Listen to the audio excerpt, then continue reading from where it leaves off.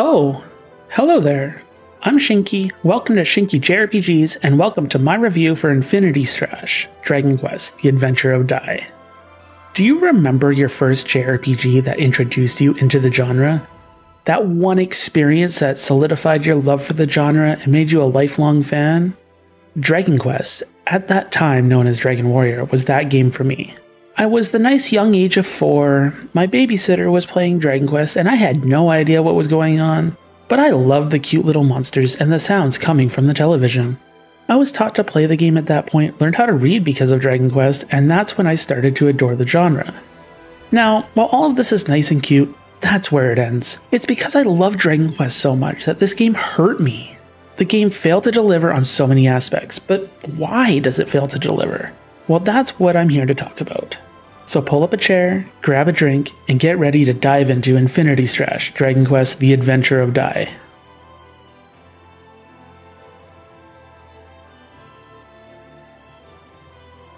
Okay, so let's start this review off on a positive note. The story of Infinity Strash is incredibly good. It's pretty standard Dragon Quest fare, Infinity Strash focuses on Dai, an orphan who lives on Dermline Island and has always dreamed of becoming a hero. One day, a group of bandits infiltrates Dai's island and kidnaps his buddy Gomachan, the golden metal slime. During Dai's adventure to rescue Gomachan, Dai runs into Avan, the trainer of heroes who decides to take Dai on as a pupil to combat the inevitable return of the ancient Dark Lord Hadlar. The story is classic Dragon Quest, travel across the land, gaining the power to defeat the Dark Lord that has been resurrected. It's nothing new, and it's not anything you haven't seen before, but honestly, it's quite enjoyable. While the story is interesting and fun to experience, I was quite disappointed by how it's delivered to the player. While the story is completely voice acted, most of the cutscenes are nothing but static images. I just found myself getting bored when they talk about high action sequences, but all you see is an image that slowly pans across your screen with a grainy filter on it. It was incredibly disappointing, especially when they're super long with rare gameplay sequences. For those of you that are fans of the anime, the story of Infinity Strash covers about the first 40 episodes. So if you've watched the anime, you know exactly what to expect. It's nice to actually experience the story in another form of media. Anyways, let's get into the gameplay mechanics.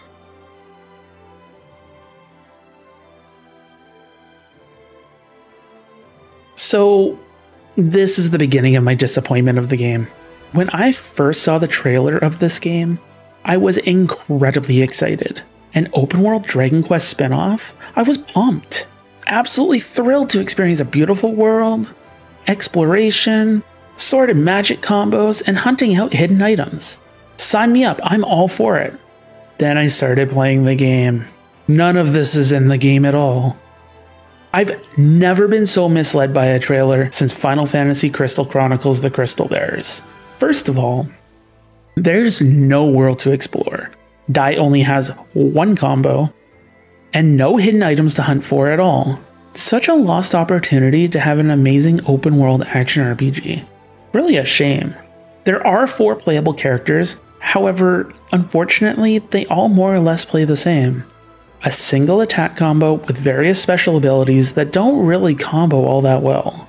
The gameplay just feels super clunky, almost budget PS2 action RPG like. At least the party has different types of gameplay. Two characters are swordsmen, but they share abilities more or less. It makes sense story wise as they're trained by the same person, but it's still annoying. Anyways, then you have your spellcaster who gets classic spells like Frizz, Crackle, and Boom, and then you have a healer with gun spells. She literally shoots spells out of her gun. And instead of cooldowns, you have to reload the gun so that you can use the spell again. Each character also has a special command. Dai can enter a powered up mode, the spellcaster can hold the button to reduce spell charge time, and the gun mage can reload her gun spells, as well as one super move or coup de grace that does incredible amounts of damage. It's nice each character plays a little differently, but the combat just doesn't flow smoothly. It's just super clunky and feels unresponsive because every action has a huge amount of delay afterwards. The delay is especially bad when it comes to your defensive options. You have two options for defense. You can guard, or you can parry by guarding right as you get hit, and then you also have a dodge button. It's more effective to just dodge attacks as it seems to be a delay from when you press guard and the guard actually happens, leading you to take damage when you really shouldn't. Anyways, how about progression? How do you progress in the game from one area to the next?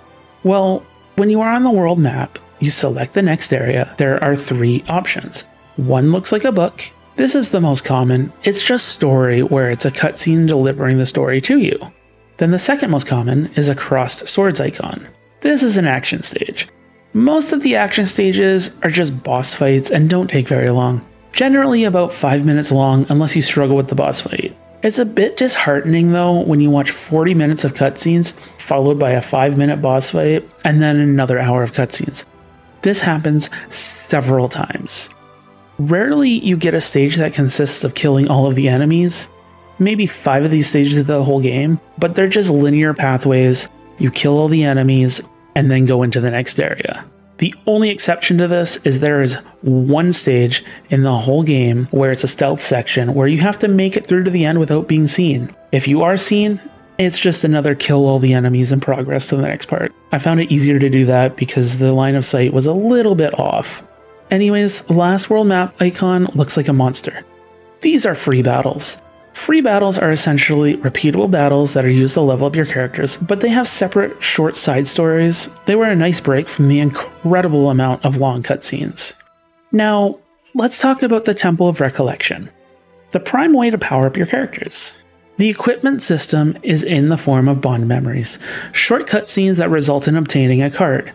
You can equip these cards to increase your character stats, from magic to strength to critical hit rate and critical hit damage. However, when you get these bond memories, they are relatively weak. So, how do you power them up? Well, this is where the Temple of Recollection comes in. In order to power up these bond memories, as well as your skills, you need to traverse through this randomly generated dungeon and collect materials. Then you use these materials and can upgrade the level of your bond memories. Though I find this dungeon incredibly boring, first of all, you start at level 1 each time you enter it, and it's laid out in the form of layers, each layer has 5 stages. Each stage, you need to kill all of the enemies, and then select a door to go through focusing on what you want to power up, and then proceed to the next stage and do it all over again. At the 5th floor of each layer, you will fight a boss. After each layer, you can choose whether to go back to the entrance and reap the rewards, or you can continue deeper to get better rewards. It's incredibly repetitive and boring, Unfortunately, until the very late game, this is the only way to power up your skills, and it is the only way to power up your bond memories, so it's necessary unless you want to be severely underpowered. Alright, that's enough. It's time to be positive again.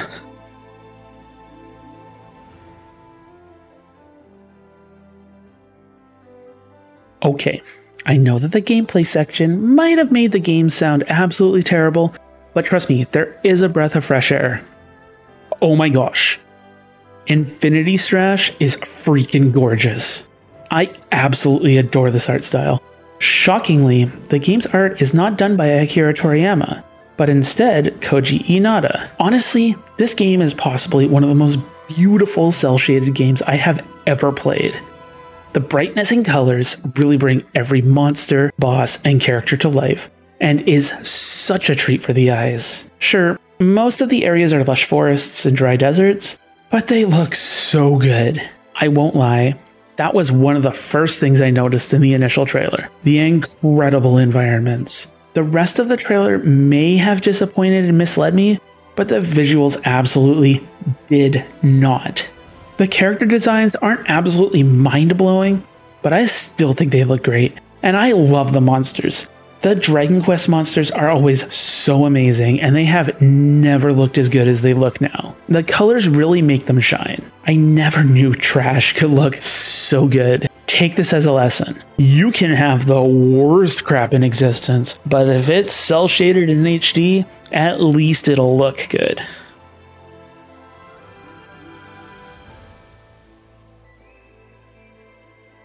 So, we've talked about the gameplay, We've talked about the story and the art style, as well as the graphics. So, how is the music? Is it great? Well, I wouldn't say it's amazing, but then again, I wouldn't call it offensively bad either.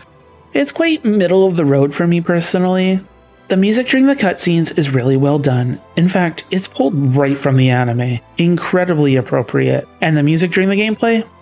It's alright. Honestly, no music really stood out for me as extraordinary, but it's enjoyable for sure. Granted, Dragon Quest has never had incredibly stellar music, save for the few common themes such as the standard level up music. And of course, the classic Dragon Quest Overture.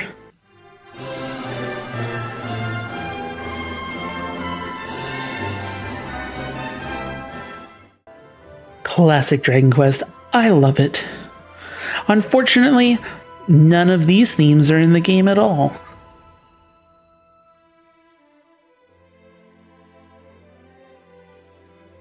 So, how long should you expect to spend with Infinity Strash Dragon Quest The Adventure of Dai? That name is incredibly long, probably longer than the game itself.